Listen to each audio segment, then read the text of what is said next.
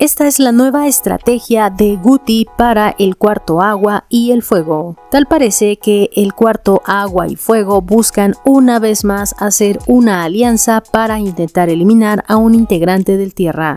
Sin duda la eliminación de Fernando conmocionó a los integrantes del cuarto agua y del fuego, pues jamás se imaginaron que el influencer y ex participante de otros realities se convirtiera en el más reciente eliminado.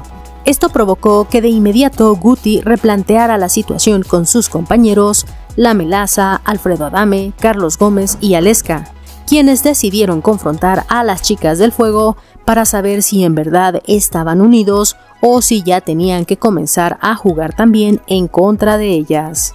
Ante este confrontamiento, las integrantes del fuego dijeron que una vez más tomarían esta alianza con el agua para intentar ahora sí eliminar a un integrante del tierra.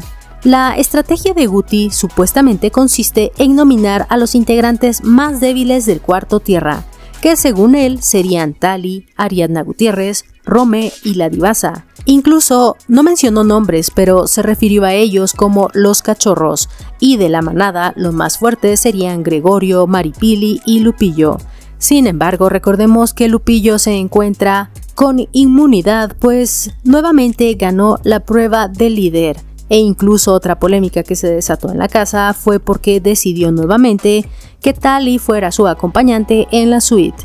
Pero volviendo al tema, los integrantes del agua y del fuego también acordaron que ya no se reirían de las ocurrencias del cuarto tierra ni le darían tanta importancia a los habitantes de esa habitación.